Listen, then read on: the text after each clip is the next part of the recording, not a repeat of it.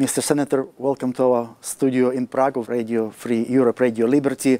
You're going after Prague to Kiev with a visit to yes, Ukraine. Mm -hmm. What is the purpose of your visit? What's on your uh, agenda? Going to Ukraine for a visit, a fact-finding visit, uh, will focus on two things primarily. Uh, one is to be sure that the United States is providing the kind of assistance to Ukraine that they need, uh, including military assistance, uh, to be able to defend their territorial integrity. Uh, as you know, the United States Congress um, has, over the last couple of years, authorized the use of more military assets uh, by the U.S. government to be able to be sold to the Ukrainians. And uh, very recently, the new administration has authorized the sale of certain equipment to be able to allow the Ukrainians to defend themselves and I'm on the Foreign Relations Committee, have been involved in these efforts. I want to see uh, how it's working and, and what uh, the Ukrainian government is looking for from the United States. Uh, second, we'll be talking about the reforms, economic reforms, political reforms.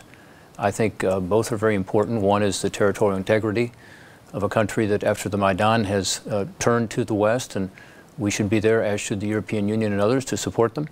Uh, but second, we need to be sure that they are implementing their reforms and there's been some progress made there. There's also been uh, areas for more progress. So we're going to be talking uh, to the uh, leadership as well as the uh, members of the Rada, the, the, parliamentarians, about those issues as well.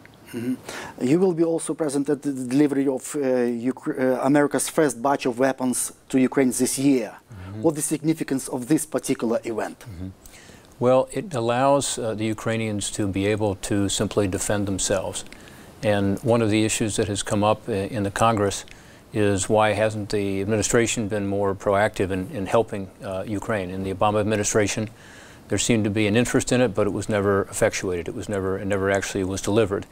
Uh, now in this administration, uh, after uh, many months of discussion, now they're moving forward. And so, again, I think it's the, the right thing for the United States uh, for others to do on behalf of Ukraine is to allow them to purchase weapons to be able to defend themselves, including uh, these new weapons that are being delivered now. Mm -hmm. uh, will Ukrainians be able to use these weapons uh, whenever they want, wherever they want, however they want, or there are some strings attached? It's primarily for defense purposes, or what the situation looks like? Well, it's it's primarily for defense purposes because they are not on the offensive; they are defending their integrity of their own territory, and so in the eastern border of Ukraine, there's been a need uh, to be able to respond to some of the Russian-backed insurgents. Of course, there have been uh, Russian uh, equipment that has been captured. That is, uh, you can see it on the square in, in Kiev. Um, that is, you know, things that are difficult for them to defend against, tanks in particular. So uh, the Javelin missiles, which is part of this, is uh, is a response to that to give them the opportunity to be able to push back and to be able to defend themselves among these weapons are anti-tank Javelin uh, uh, missiles. That's correct. Yeah, the, yeah. What the importance of this particular, because it's new uh, weapons for Ukraine. Well, this again, it's it's a it's a weapon that allows them to be able to respond to the the, the threat that they're facing, including from from tanks, uh, which, you know, after World War II. Um, uh, one would have thought that uh, this kind of activity would no longer occur in Europe, and yet it happened. Um, Crimea was taken, and on the eastern border, um, you know, there has been a, a, kinetic war, as we say. There's, there's, there's been a need for the Ukrainians to be able to have the basic weaponry to be able to, to defend themselves. Mm -hmm. uh, Mr. Senator, in some uh, uh, analytical circles in Washington, there is a, a, a, school of thought saying that more weapons means uh, mean more tensions, more violence, so that they. What, what's your response to that? Well, I, I think the uh, the proven theory is just the opposite, which is by having the ability to defend yourself, it's more likely that you will achieve peace because then there's some consequences, there's some pushback.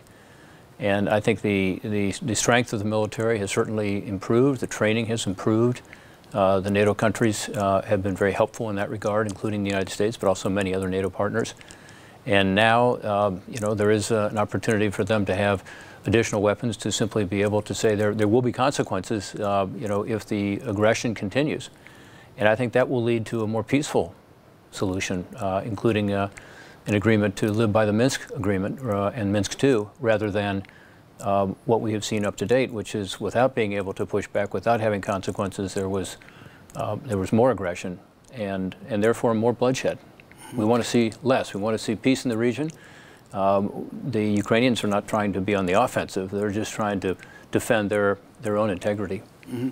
There were reports, Mr. Senator, that uh, U.S. Uh, arms will not be delivered to right-wing Ukrainian uh, uh, volunteer battalions. Mm -hmm. if that's true, that there is some political strings attached.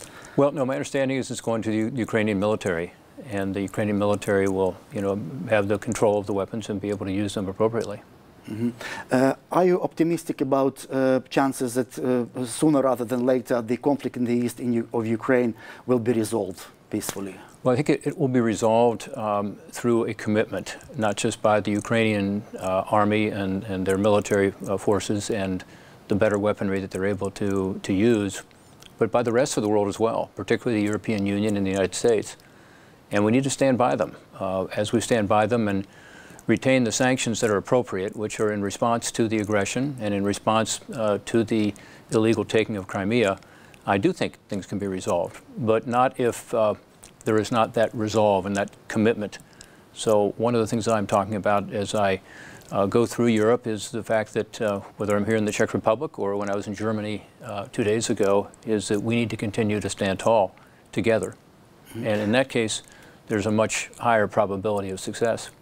I want to ask you about Crimea. Is Crimea uh, uh, still high on American uh, uh geopolitical radars? I mean, uh, four years after annexation, four years after illegal occupation of Crimea, do uh, Americans pay attention to Crimean problem as well? Yes, I mean, I, I think we, we do and we should, and so should the EU and others. It should be something that you know the entire world, including the United Nations, continue to stand tall on because again, this is really the first time, as I look at it, uh, since World War II, that we, we've had this, this, this kind of activity without a response.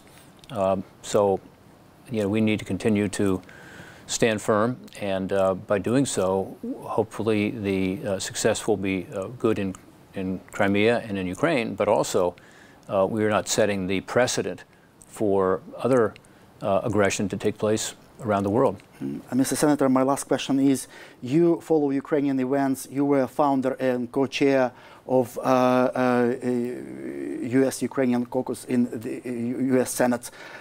Do you have optimism about Ukrainian future, taking into account all difficulties and challenges, challenges that Ukraine is facing now?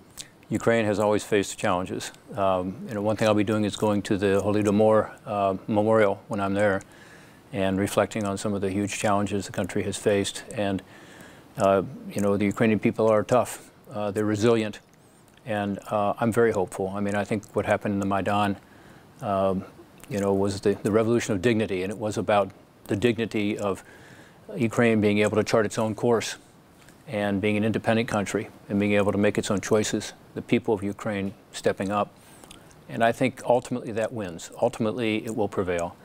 As I mentioned earlier, there is a challenge with regard to the territorial integrity of the country and the ongoing military challenge. There are also challenges internally in terms of the continued reforms on the domestic side, uh, political reforms, economic reforms. Uh, I was there as an election observer during the presidential election, uh, as an example, uh, along with other parliamentarians from around the world. Uh, the rest of the free world is looking to Ukraine to be successful. And I have very high hopes that uh, with the continued commitment, the resolve of the EU, the United States, the United Nations, the free world, and with the resilience of the Ukrainian people, the future can be bright.